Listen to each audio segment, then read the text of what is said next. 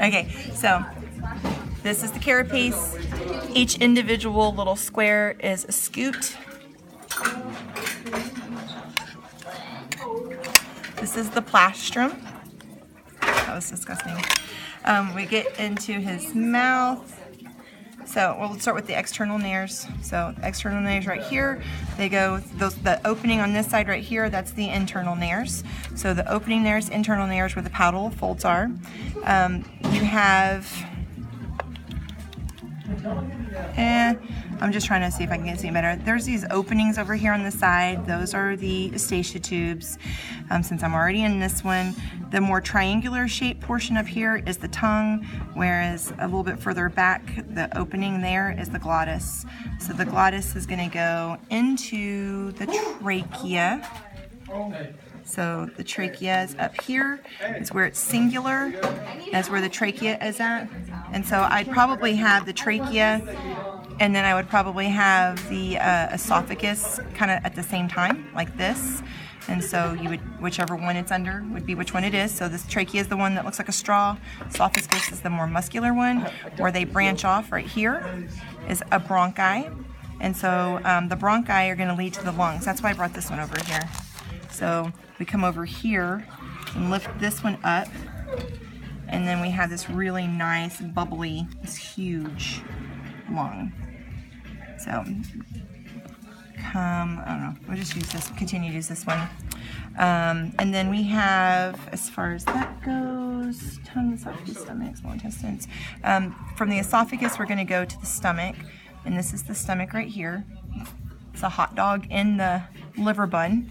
Um, the beginning of the small intestines, that's what it looks like. The beginning of the small intestines right here on the underneath portion.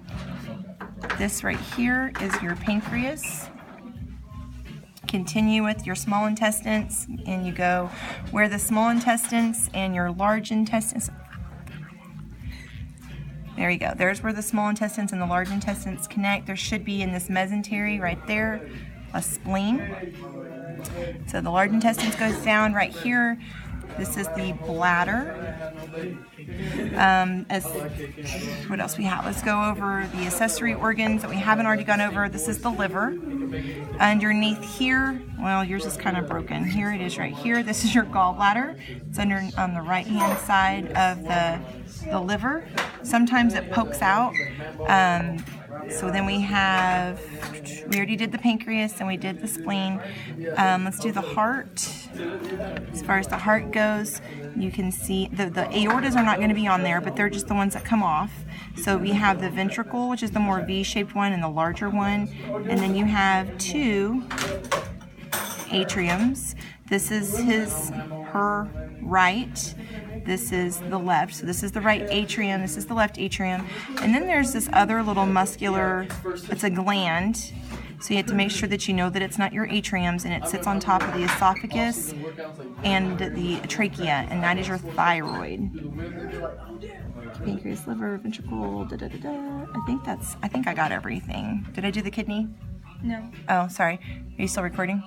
Mm-hmm. Okay. the kidneys are right here. Sometimes they're that yellowish color, sometimes they're an orangey color, but they kind of sit right there on top of the legs.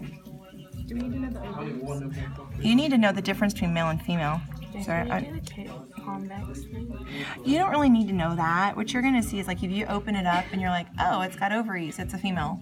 Okay, okay so yours was a very, very immature female. Um, I don't know if you can get in there with that, but we have you can see the little eggs that are inside of that. I'd have to find, I mean, if I'm using one, you're gonna see like little balls, many, many, many balls um, that are in like a little sack. And so um, this one, I, am pretty sure, if I remember right, is a male. But it's a very small male. Um, but you can see down here where the bladder is at, we have the two testes. And then you have right here these black portions. If you can see those, those are the epididymis.